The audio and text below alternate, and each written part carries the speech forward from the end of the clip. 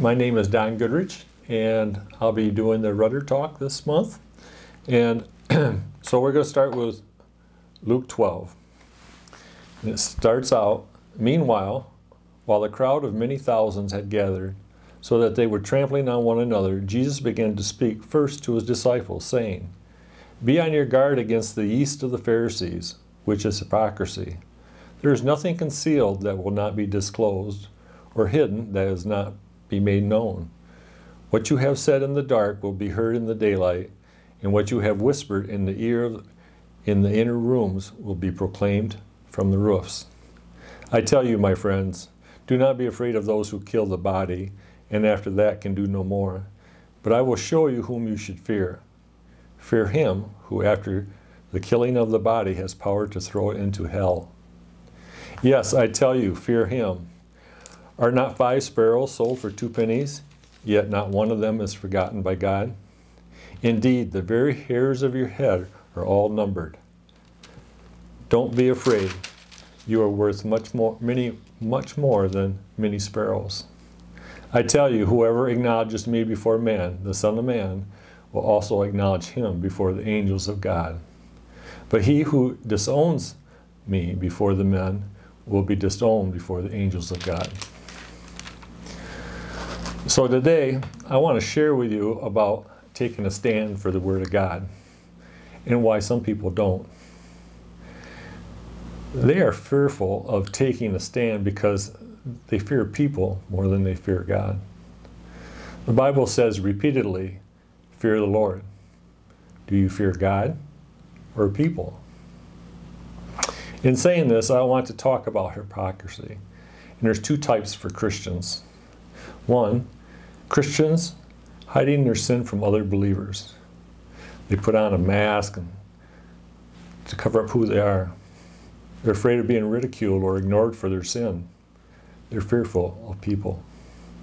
And two, Christians hiding their faith and love for Jesus from non-believers.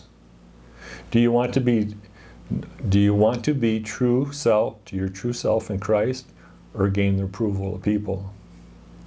People already know who you are by how you live your life and treat your relationships.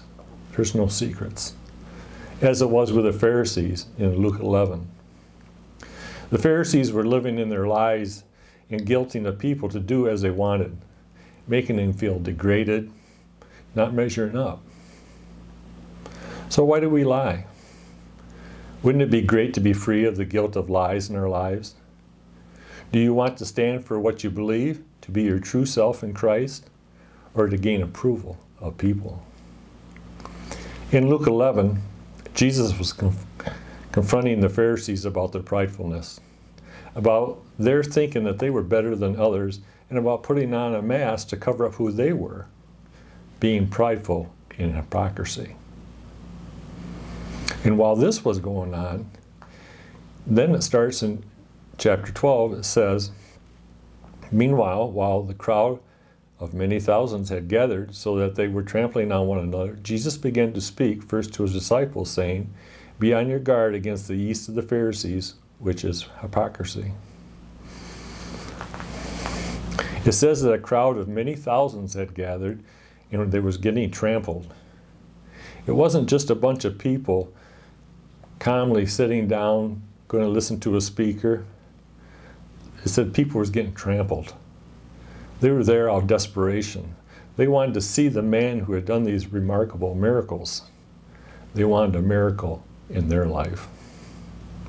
Have you ever been in such a big crowd that um, was moving shoulder to shoulder and being fearful of falling and getting trampled? Maybe at a sporting event or a concert, a Black Friday sale, or uh, just a violent act in a crowd. It's very scary. Back to Jesus.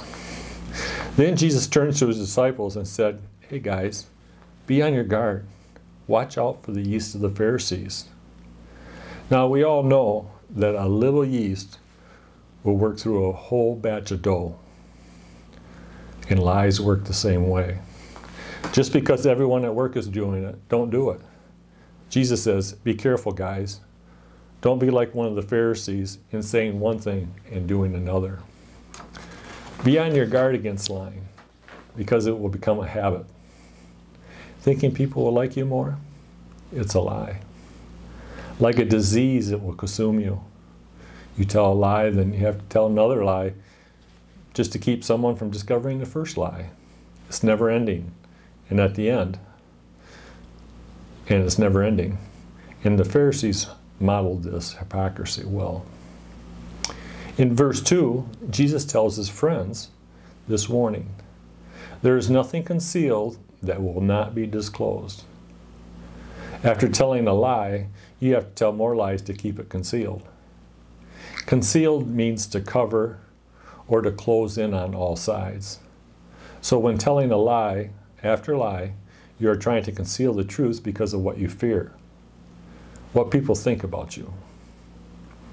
Jesus says nothing is concealed. When you go to the grave, there will be no secrets concealed from God. Bible says that one day everything will be brought into the light that has been hidden in the darkness.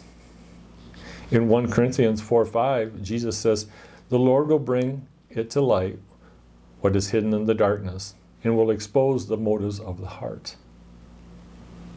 Think about that. The Lord will bring to light what is hidden in the darkness and will expose the motives of your heart. Jesus says it here, and he says the same thing four times. I don't know any place else that Jesus said a point four times, but he said it four times here, verses 2 through 4. There is nothing concealed that will not be disclosed, or hidden that will not be made known. What you have said in the dark will be heard in the daylight, and what you have whispered in the ear of, in the inner rooms will be proclaimed from the roofs. Jesus is telling his disciples, see how useless it is to lie? Because everything is going to come out. I'm going to tell it all. I have a question for you. The question is Do you really believe in your heart that it will never benefit you to lie? Think about that. Do you really believe that it will never benefit you to lie? Haven't we all said to ourselves that, um, or been in a situation where we thought it'd be better to lie? Maybe thinking it would help someone else or myself. That's a good thing, right? Or do you believe that it would be best never to lie? What it comes down to is whether you believe that there's a God in heaven who's in control. Do you believe God is in control? Is God sovereign? If we believe this, then don't we think God would bless our decision to lie? I don't think so. Or if I tell the truth, will God punish me for it? God is in control. If God is in control, and He is, is it not going to be the it's not going to be the best thing for me to lie. So why lie? Because if I tell the truth, it's going to hurt. And it probably will at first.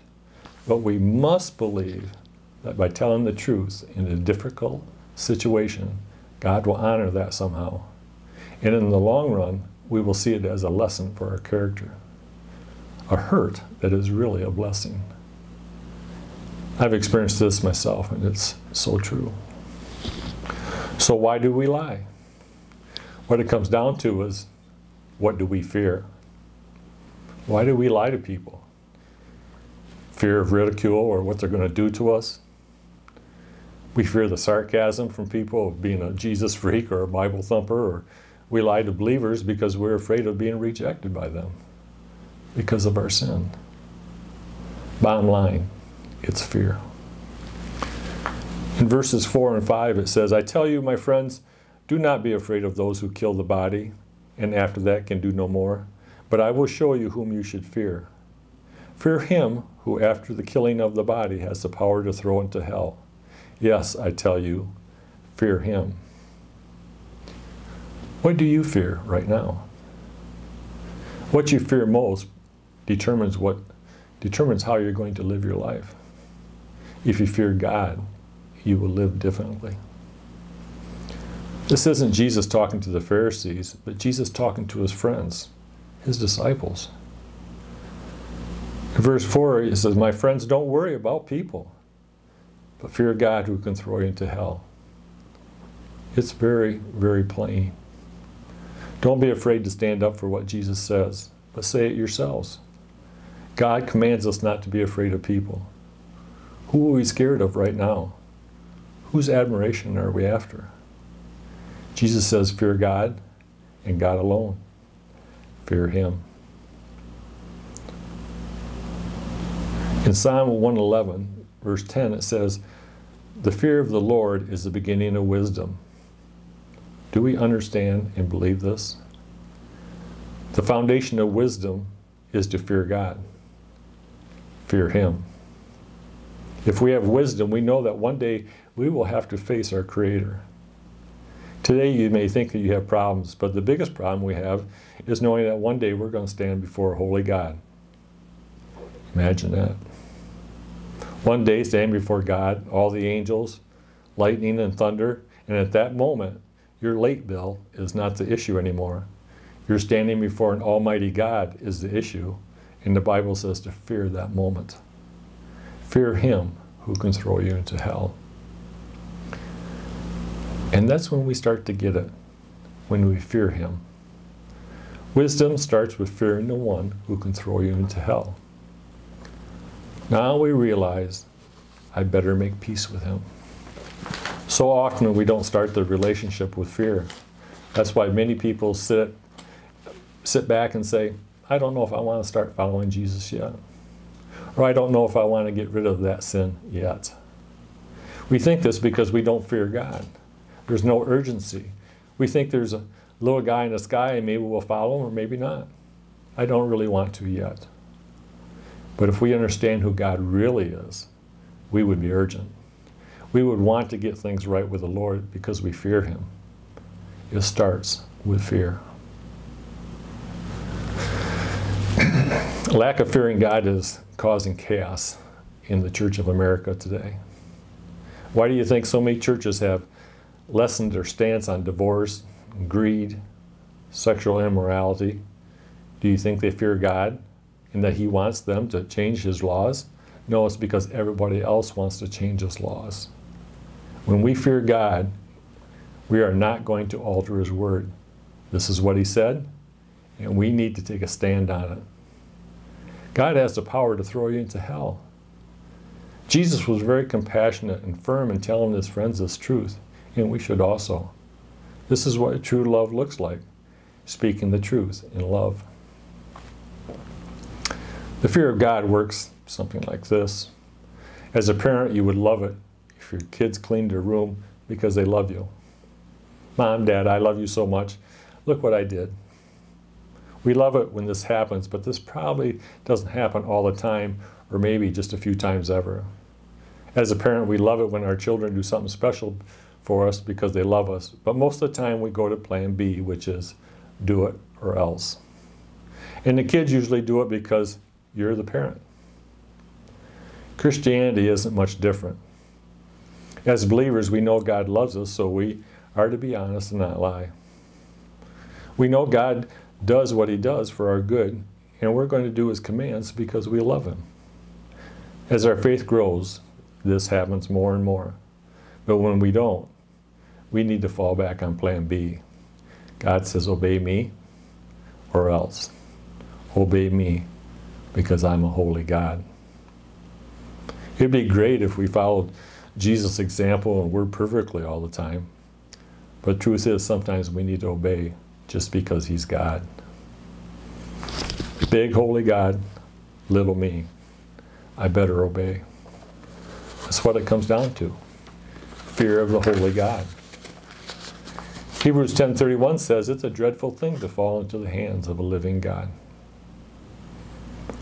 Then Jesus tells his friends of their value in verses 6 and 7.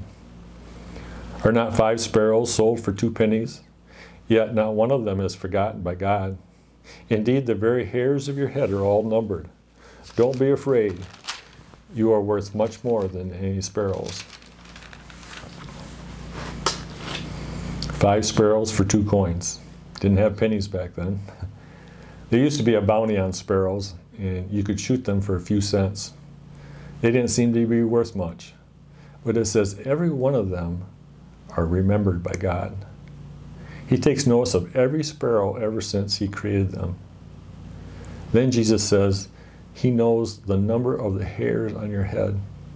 He is all knowing and caring God.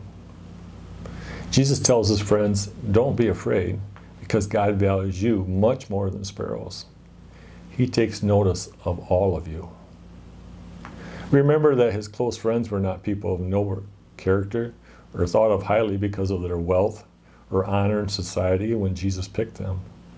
They were common men, fishermen, a tax collector, not anyone who was thought of as special. They were not noticed by many. When we see the awesomeness of God, that is when we appreciate His protection and provision for us. Maybe we didn't recognize or understand His glory or majesty and what He was going to do to the world in the end. But when we realize that He has what He has done and can do and how much He values us, we don't have to fear. Many of us uh, remember this next passage, and it's verses 8 and 9. It says, I tell you, whoever acknowledges me before men, the Son of Man will also acknowledge him before the angels of God. But he who disowns me before men will be disowned before the angels of God. Jesus says, Whoever disowns me before men, I'm going to disown him before the Father. You won't speak up for me, I won't speak up for you. The word acknowledge meant that it was a public confession for Jesus. The word acknowledge in the Greek means to speak the same. Jesus was saying, Will you say the things that I say? Jesus said, There's a God in heaven who can send your soul to hell. So I say, There's a God in heaven who can send your soul to hell. Jesus said, I am the way, the truth, and the life, and no one comes to the Father except through me. So I say, Jesus is the way, the truth, and the life, and no one comes to the Father except through him. Jesus said that he died for our sins, and I say, Jesus died for our sins.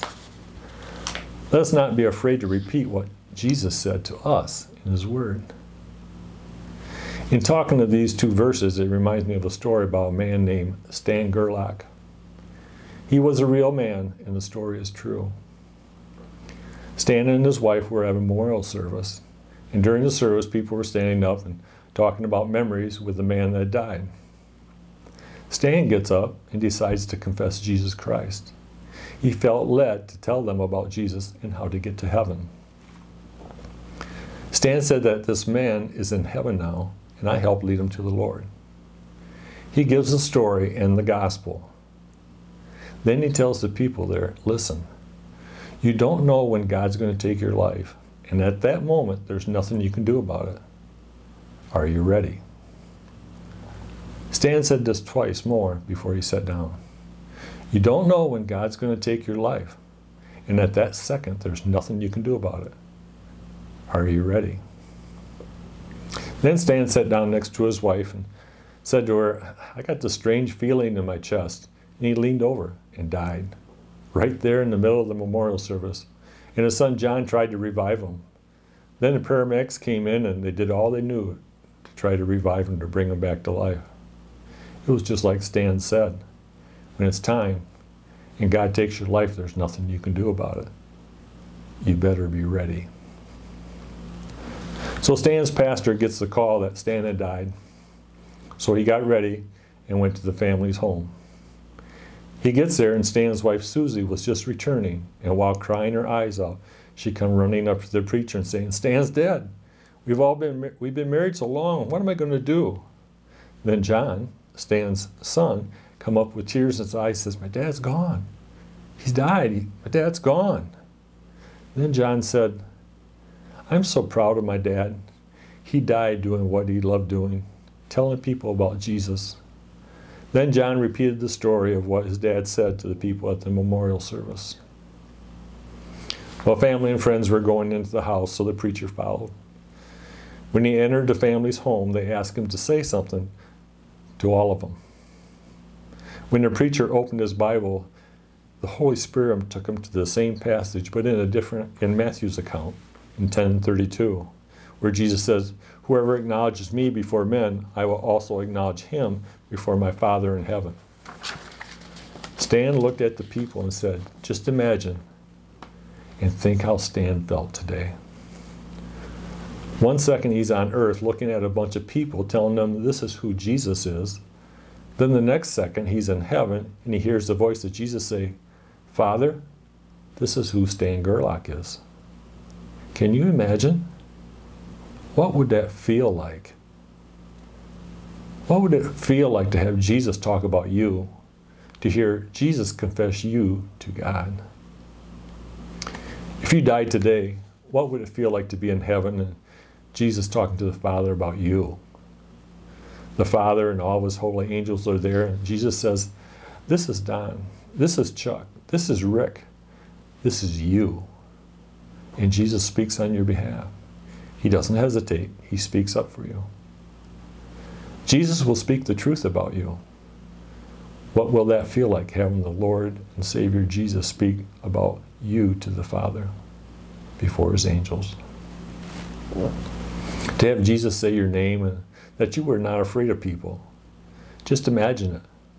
You, God, Jesus, angelic beings, and Jesus saying this about you. And he wasn't afraid to talk to people about you, Father. He wasn't scared, but said what needed to be said. He spoke up for you. What's that moment going to feel like? To have Jesus speak up for you and the Father say, Well done. This is what our purpose in life should be. Do you want everybody to go to your funeral and talk about all your wealth and toys you had or the things you'd done? Or do you want the Father to say, well done. Jesus Christ is going to give you a reception and talk about how you were on earth. Jesus will be confessing about you to the Father and angels. For this reason, we need not to be afraid of people, but to fear God and God alone. Because we want His applause, we want His protection, and we will have security in Him and no one else. That's why people got baptized. When they publicly confessed and went down to the water, they were saying, I believe in Jesus. Back then and today, there was a cost. Family rejection, friends thinking you are weird or something. Some would even die because of their conversion. But when they believed, they did not fear people, but God alone. Some of you are afraid of people. Some of you are afraid of people to openly confess Jesus as your Lord and Savior, instead of fearing a holy God who can cast you into hell. If the foundation of your faith doesn't start with fearing God, then you have nothing to build it upon, and you can't get the rest. Until we fear God, you can't totally learn to love Him and understand why the Holy God sacrificed His Son Jesus for you. It's an amazing thought when you get the whole picture.